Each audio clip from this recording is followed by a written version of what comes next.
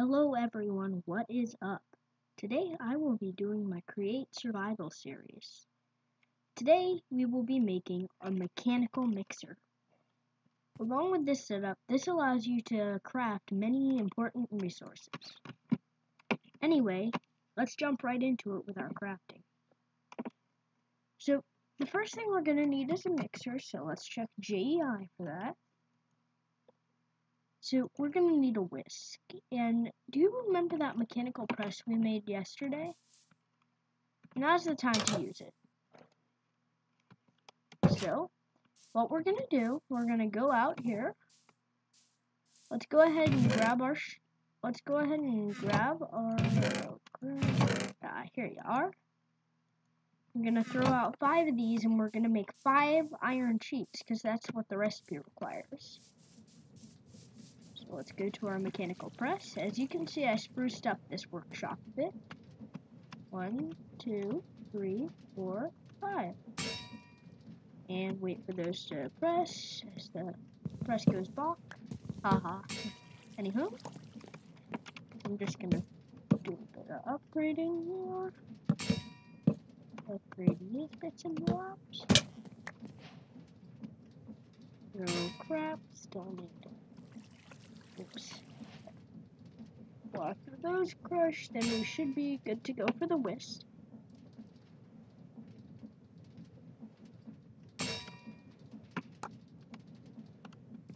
Let's go back here and then let's see, is there anything else I need from out here? Let's go grab our let's go grab our crafting stuff. So I'm gonna need my cogwheels, my casing, my alloy. I'm gonna grab the we're gonna need to make a lot more alloys because, yeah, we're also gonna be using a basin in this, and that's what you need alloys for that. So let's go ahead and put this like so. Then, no wait, I forgot the whisk. Okay, so yeah, like I said, I'm gonna need some alloys, but yeah.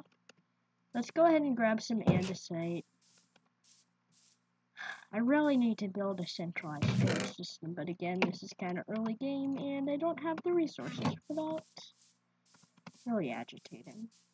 I mean, hello? Half of the roof of my house is made of dirt. Yeah. Anyway. But it functions, at least. So, let's go ahead and make another let's make another set of nuggets. Now let's do this. Let's make another five alloys and I'm just gonna quickly turn those into a basin. All you need to do and boom. The basin is what stores the stuff that we're mixing. So then let's make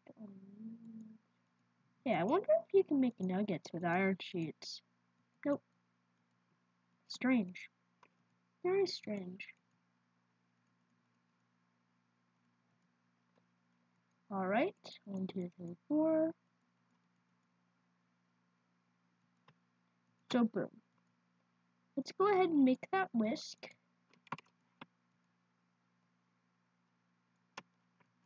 Now the whisk does not actually serve any purpose other than crafting. There are a bunch of things in there like that. Let's go ahead and make this mixer. The special thing about the mixer is it requires a certain amount of RPM. But after that, we're going to need to craft a bit more things. So let's go ahead and make a couple large and small cogwheels along with some gearboxes. But in order to do that, let's make a couple of these. Well,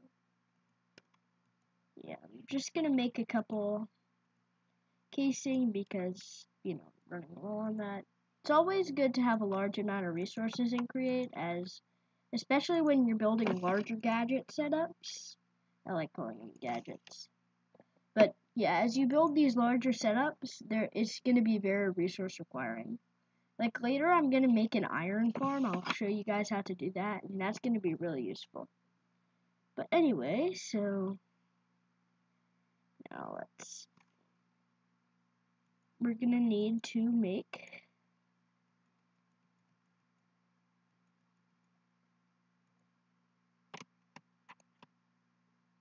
wait and that means more alloys yeah this this requires so much alloy honestly.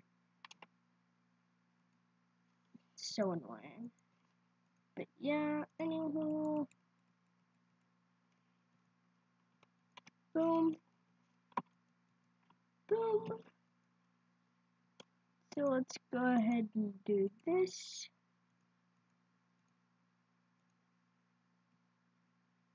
And slide around. Cogwheel 8. Let's make another casing set.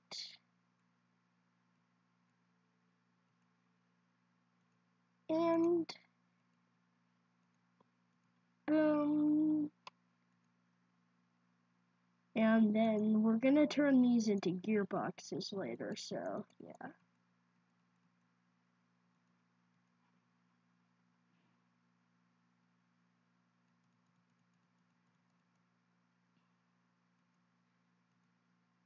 And then the last thing we're gonna do is we're just gonna make some large cogwheels after this. But yeah, so then let's turn you guys into some gearboxes.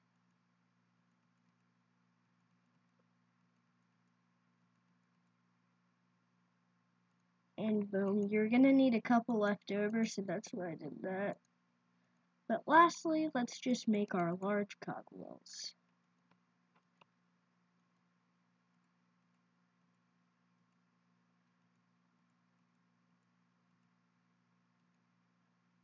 And open kabang. Hello everyone, I am back. And now we are going to begin constructing our mechanical mixer set. Anyway, so let's go. So, the strange thing about the mechanical mixer is that it must be run at a higher RPM. Otherwise, it does not function. I mean, it'll still display the rotating animation and all that good stuff, but it will not actually go. So, in order to increase the RPM, we're going to place a large cogwheel like so, and then standard cogwheel. Now, the reason behind this is because two, because one rotation of the large cogwheel is two rotations of the small cogwheel, therefore doubling the RPM. And if you were to do in reverse, then yeah, having it. So we're gonna go ahead and place our mixer right here. Let's go ahead and just place our basin at the bottom. Let's place a large cogwheel. Or wait, nope that's not the right size, let's place a small cogwheel, like such. So let's grab some of our gearboxes, let's make them vertical.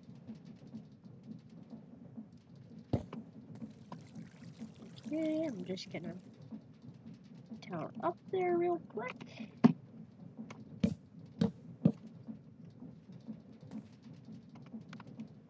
And so boom and boom. Now let's do that. And we have our setup fully complete. So then you can also use this as a little filter for that. So, yeah. So you can determine what recipe it does. Because this actually has, this actually is used for shapeless crafting. Anyway, let's find an example of how this works. I think I should be able to, nope, berries do not make red dye, but let me go. Okay, so I have a dandelion. That'll be my yellow dye. And let us go get, well, there's some roses.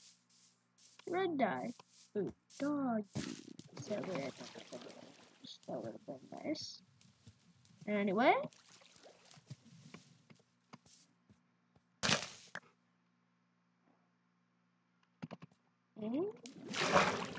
And again, these BSL, shaders are like totally. I love them. The animations, it just makes Minecraft so, feel so alive. But anyway. So now we have our dyes, fill our flowers. Let's just craft this water to dye the poppy. As you can see, I have two of these. And also later here, we're going to put something called a blaze burner, which allows for more recipes because it acts as a heat source. But, so let's go ahead, throw this in, and then boom, that it. And as you can see, as soon as that's done, oh wait, what? Okay. Doesn't yellow and red make orange? Okay, maybe I'll need a blue and I can make purple. But, yeah. I mean, I'm still kind of new to the video editing, so I'd normally cut all of this out. But, you know. Again, I am just digging these shaders. Anywho. Jump the ravine. Ah, yes, cornflower. Much better. Okay, that was just pure dream. Like, not falling into the ravine after jumping at it with like 10 FPS. That is just, oh my god. Anywho, let's do and yeah, I'm not so lucky this time.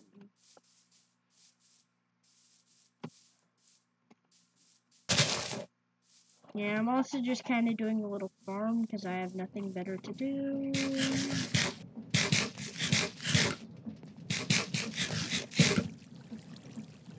Oh, I hate the whole thing. I'm just holding the torch in my mouth. Anyway, let's go ahead and grab you. I believe this should work. So if I go like this, and this, it'll mix the two dyes together. Okay, what the? Ah! Anywho, throw that in, that in. Oh, this is not rotating with enough speed. That's what's going on. So we're gonna need to double our RPM again, it looks like. I made a mistake. Let's go ahead and take all this all this stuff out. So the easiest way to do that while remaining in the same kind of area is to just gearboxes are rather valuable early game in this because you know just it's yeah they have a lot of resources to make but I go like that then boom should work.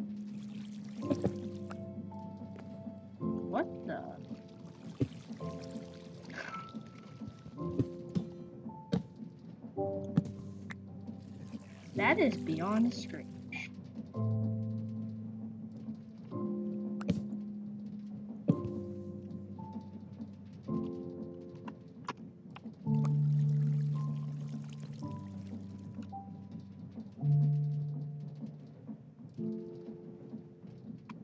Okay, maybe I go like... This this is baffling.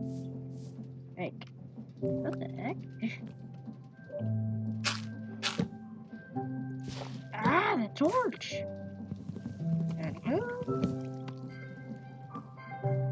Let's fix this gadget.